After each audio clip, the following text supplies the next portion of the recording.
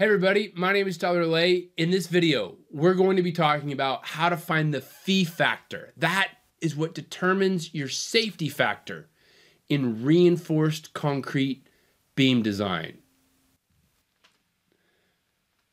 We're going to talk about the phi factor today. That's one of the safety factors. In the past, ACI used to control the amount of rho.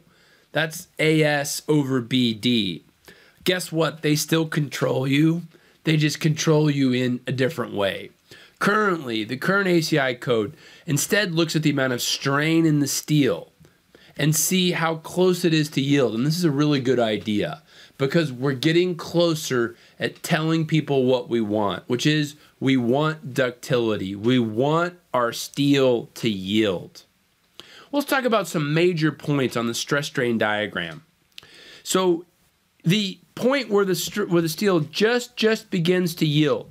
That's when it goes from linear to starting to yield. Okay. That value, when that very first happens, is at a strain of 0.002. 0.002. And if you forgot that, you can always take 60 divided by 29,000 KSI and you will get 0.002.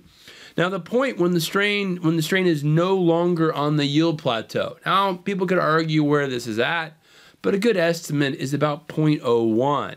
So the thing's, thing's going to keep strain strain hardening over here, and this point is around 0.01 strain. Um, and and this is a good thing. That's not a problem. It's not a problem for your steel to be at this amount of yield. That that's a good thing. And what ACI says is that, you know what? I want my steel to be at least be here, but I'm worried. It, it, it, it, my concrete may be stronger, my dimensions of my beam may be off a little, and so I'm a little worried. And so instead, I'm going to pick a place in the middle here, about 0.005, and I'm going to say, you know what? If your strain in your steel is above 0.005, then your safety factor is going to be low right? Low. And if your strain is between 0.005 and 0.002, as you get closer and closer and closer and closer, your safety factor is going to go high. So it's like increasing in this zone. Okay. And if you ever get lower than that, I mean, this is kind of like the ah, scary zone. This is when the safety factor is kind of the highest. So just to go over this again, if my strain is greater than 0.005, this is encouraged, this is a good thing. ACI likes this, so they give you a lower safety factor. If it's between 0.002 and 0.05, we call this the transition zone. Okay, and say and ACI is going to slowly raise the safety factor because they want ductility. And this is kind of explained graphically here, right? Here.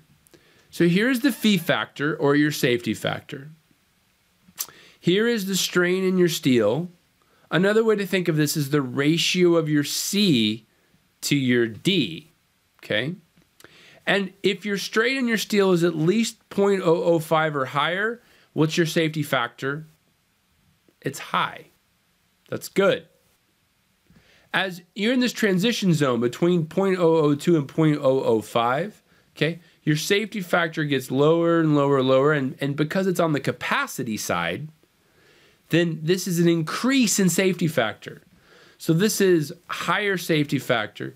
This is lower safety factor. And this is this transition zone in between. If you don't like graphs, if you like equations, you can use an equation over here. When your strain in your steel is less than 0.002, you'll use a phi factor of 0.65. If your strain in your steel is greater than 0.005, you'll use a phi factor of 0.90. And this is where you want to be. This is where you want to be. And then in between, you're going to use this equation. All this equation is, is this line. There is the slope, right? Or some version of the slope. This is just an equation for that line. And this safety factor is applied to the flexure equation ASFY times D minus A over 2, the most important equation in flexural design. And this safety factor phi goes right here. So it decreases your capacity. So the higher the safety factors in numerical value, it means it's actually not having as big an impact on your capacity. And the lower your phi factor is in numerical value, the bigger impact it's having on your capacity because remember, it's less than one. Okay, so it's reducing this. Unfortunately, this means that we don't know our safety factor in our designs until we're done. That's okay though. We're going to assume a phi of 0.90 and then we'll just check it by using this. This is the secret. This is the secret to finding out what your strain in your steel is. It's just D minus C divided by C, and this value is 0.003, and this will become much more apparent when we work an example problem. But we're going to do something else first.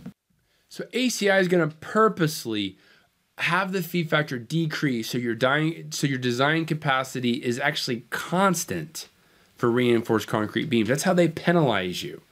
This means that you can add more and more steel and it doesn't matter. I'll say that again.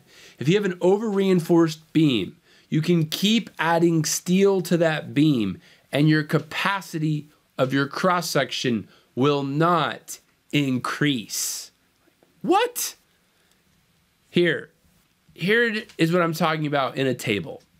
If we take a typical beam that's 14 inches by 22 inches with a D of 19 and a half inches, F prime C is 4,000, uh, PSI FY is 60 KSI. This is a, the answer to for um, or the capacity versus the amount of steel for a number of different rhos. Okay, which means leads to a number of different area of steels. And you would think that as your steel was going up, you would think your capacity would go up, right?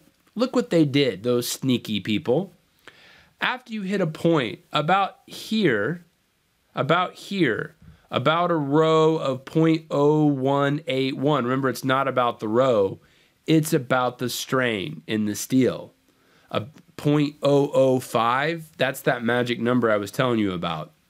This is ACI wants you to be here. They want this. This is good. This is bad. So, how do they penalize you for being bad? How do they penalize you for be- making structures that aren't ductile?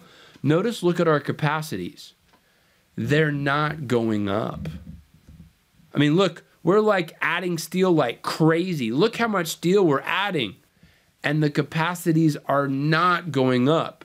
You know, your calculated capacity goes up, but once you put the phi factor on it, once you put the safety factor on it, as this goes up, this is going down. They offset each other and you don't get much capacity. Oh. Here's the same thing graphically. Here is the strength here is this reinforcement ratio. This is like kind of the amount of steel you add. This is increasing amount of area of steel. This at the top is what you would calculate the moment capacity to be, but this is what ACI allows you to use for design. This is what they cap you at. They said you can't take any more credit than this. And we're showing the amount of strains. And this is this magical amount of strain. This is where they don't want you to go any higher than this. They want you to stay lower than this. And you should not shoot or try to be here. You shouldn't. Okay? You just need to be away from it and move ahead. Life isn't about optimizing, at least design life is not about optimizing to be at the maximum strength. Designing is about speed because speed is about money in the design world. We'll talk more about that coming up. Thanks. Please, if you like my videos, subscribe to them like them, tell other people about them, and leave me a comment. Take care. Bye bye.